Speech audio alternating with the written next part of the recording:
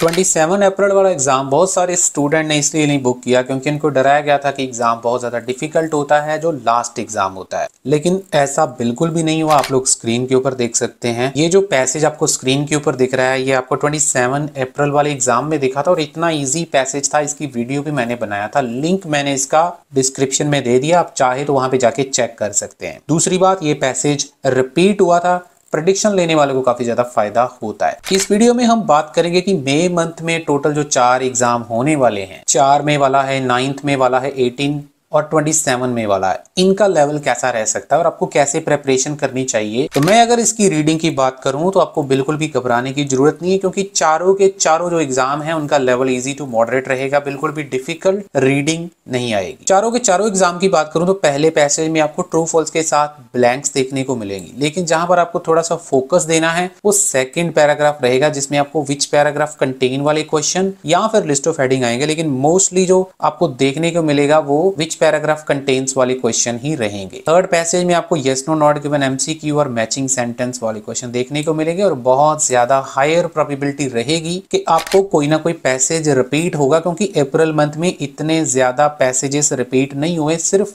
27 वाले को छोड़ के। तो जैसे कि आप लोग स्क्रीन के ऊपर देख पा रहे हैं, हमारी प्रोडिक्शन में से भी हमेशा कुछ ना कुछ रिपीट होता रहता है। रिसेंटली भी हुआ है, अगर आपको चाहिए, आप हमारे साथ कांटेक्ट कर सकते हैं।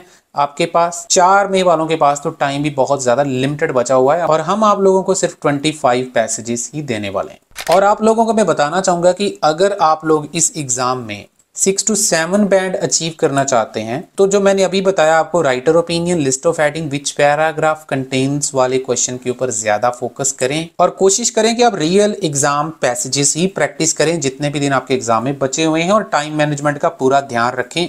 एग्ज़ाम कंडीशन के अंडर अपनी रीडिंग की खास तौर पर प्रैक्टिस करें। अब हम बात करते हैं कि राइटिंग का लेवल आपका कैसा हो सकता है। चारों के चारों एग्ज़ाम में बात करूँ तो टास्क वन में, स्पेशली जो पहले दो एग्ज़ाम हैं, ध्यान से मेरी बात को सुनना, आपको डायग्राम, मैप, बार या लाइन, इन तीनों में कैटेगरीज में से कुछ देखने को मिलेगा।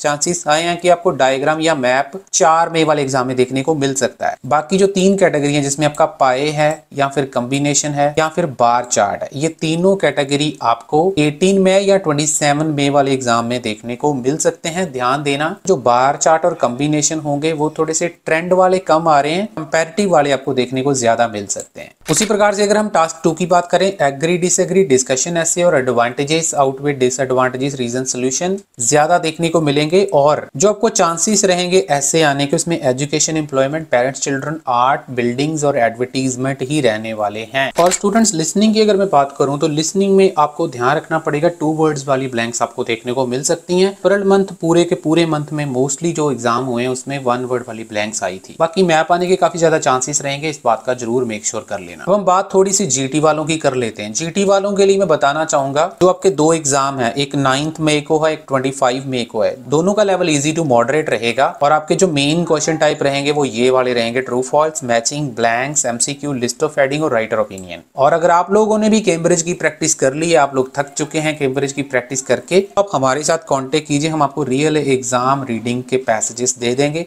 जिसका आपको फ़ायदा मिलेंगे। बात अगर मैं राइटिंग की करूँ तो टास्क वन में फॉर्मल इनफॉर्मल लेटर स्पेशली जो नाइन्थ मे वाला एग्ज़ाम है, उसमें आपको फॉर्मल लेटर 27 वाले में इनफॉर्मल लेटर आने के चांसेस ज़्यादा रहेंगे। टास्क टू की बात करूँ एग्री डिसएग्री रीजन सोल्यूशन और डबल क्वेश्चन ये मेन क्वेश्चन रहेंगे और ये वाले आपके areas education employment parents children और एनवायरमेंट ये वाले एरिया के ऊपर आपको खास ध्यान देना पड़ेगा। और चांसेस काफ़ी ज़्यादा हाई रहेंगे कि जो हम आपको प्रोडिक्शन प्रोवाइड करते हैं, उसमें से आपको दोनों चीज़ें, जैसे टास्क वन और टास्क टू रिपीट हो सकते हैं। काफ़ी बार रिपीट हो भी चुका है। और क्रैश कोर्स के बारे में आप लोगों को बता देता हूँ फिफ्टीन 1500 का क्रैश कोर्स हम लोग प्रोवाइड कर रहे हैं, स्पेशली जीटी वालों के लिए या एकेडमिक वालों के लिए, अगर आपके पास टाइम कम बचा है। आठ घंटे का कोर्स है। और इसके रिज़ल्ट भी आप लोग स्क्रीन के ऊपर देख पा रहे हैं। ये तो सिर्फ़ मैं दो रिज़ल्ट दिखा रहा हूँ। बहुत सारे रिज़ल्ट हैं जो six point five seven seven point five band तक हमारे सिर्फ़ ये क्रैश कोर्स की वजह से पहुँचे हैं। आप लोग मेरे चैनल पे जाके चेक कर लेना। रिकॉर्डेड कोर्स है, लेकिन आप लोग सोचेंगे, हमें तो सारा कुछ यूट्यूब पे ही मिल जाता है। ऐसा नहीं है। इस कोर्स को डिज़ाइन ही ऐसे किया गया है कि आपको सारे शॉर्टकट्स वहाँ पे बताए गए हैं। कॉपी पेस्ट मेथड्स बताए गए हैं। हमारा ये क्रैश कोर्स बाय कर सकते हैं। फिफ्टीन हंड्रेड इसके चार्जेस रहेंगे। ग्रेंटेड इंप्रूवमेंट आपकी हो जाएगी हंड्रेड परसेंट इसमें हमने चारों के चारों मॉड्यूल कवर करेंगे रीडिंग लिसनिंग राइटिंग और स्पीकिंग आपको कहीं भी कुछ देखने की ज़रूरत नहीं है। सब कुछ हमने इसमें इसमें कवर किया हुआ है। इसके अलावा अगर आपको सिर्फ़ प्रिडिक्शन मटेरियल चाहिए तो वो 499 का है, चारों के चारों मॉड्यूल जिसमें आपको लेटेस्ट क्यू कार्ड भी मिल जाएँगे, जो इस टाइम पे चेंज हुए हैं। 25 उसमें रीडिंग रहेंगी 20 लिसनिंग के टेस्ट रहेंगे। अगर आप इंडिया से बाहर से मेरी वीडियो देख रहे हैं तो मेरी एप्लीकेशन सतनाम सर आइल्स को डाउनलोड करके वहाँ से भी आप लोग बाय कर सकते हैं। इस वीडियो को लाइक देना चैनल को सब्सक्राइब करके शेयर कर देना। Thank you so much